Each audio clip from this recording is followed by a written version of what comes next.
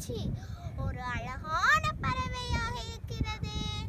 வண்ணத்து பூச்சி. நான் வண்ணத்து பூச்சியை கடலில்